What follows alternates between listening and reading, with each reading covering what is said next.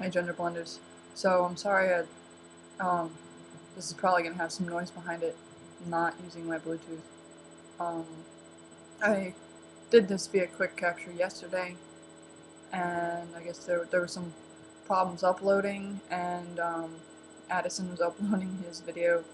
Uh, I, I assume at the same time that I was uploading mine, so um, his one. um, so yeah, that's why it didn't work. But um, I'm gonna make this fast because I gotta run to work. Um, okay, books. Um, how do they compare to from when I was growing up to now? Um, how does what I read compare? Um, growing up and going through grade school, I pretty much only read or pretended to read or read parts of uh, school books. I absolutely hated reading. Uh, reading was not fun for me, um, especially if I didn't like what I was reading, because it took me forever, and it still takes me a long time to read. Um, what it takes, you know, a person could read something. I could read something once, and that, and your average reader could read it three times um, in the time that takes me.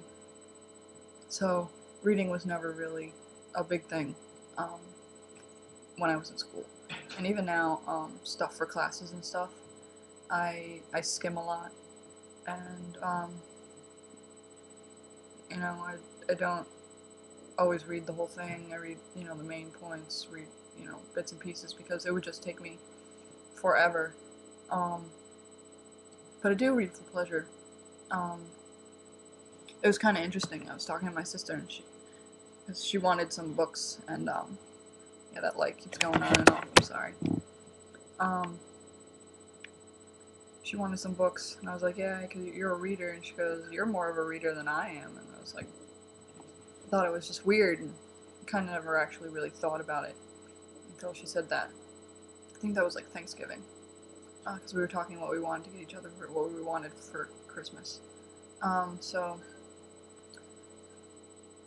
yeah, I, I do read I'm very, very picky what I read. Um, a lot of it's fiction. Um, I've read, you know, like some. I've read like The Da Vinci Code and Angels and Demons. Eventually, I want to read Dan Brown's new one.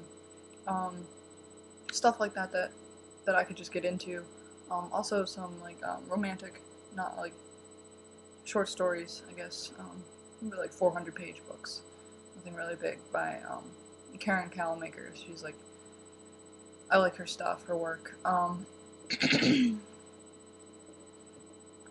on a rare occasion, I'll enjoy a science fiction book or, or whatnot. Um, I'm very, very picky, and I haven't been able to read in quite some time, since the summer, um, at least. I have a bunch of magazines I want to read. Um, but that will happen, hopefully, uh, winter break um, when I will only be working and I won't have school at the same time. So, uh, yeah, so sorry it's short, but I gotta get off to work, so I'll catch you all later. And I'll see you next Friday.